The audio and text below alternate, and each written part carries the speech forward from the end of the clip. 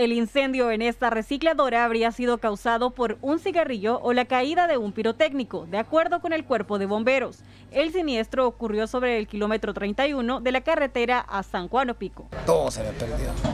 Con gran esfuerzo yo lo había hecho y se me perdió todo. Yo ahí vivía, digamos, vivía y cuidaba.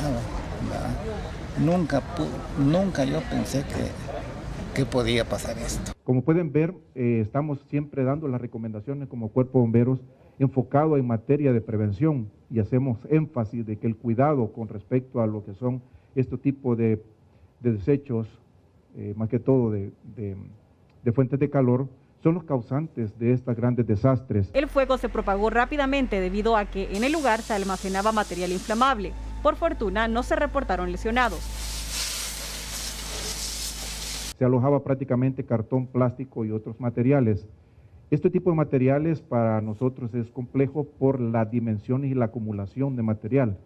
En especial la fábrica estaba eh, completamente cerrada por vacaciones y la magnitud del fuego era completamente en, categoría 3. En tanto, el número de personas que ha resultado con quemaduras en el marco del Plan Navidad 2020 sigue aumentando. Ya tenemos 63, 13 se sumaron el día de ayer.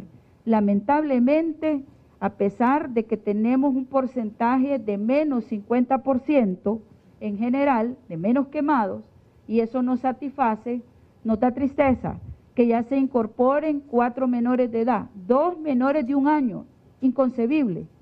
Inconcebible que niños menores de un año estén quemados por pólvora y dos entre uno y cuatro años.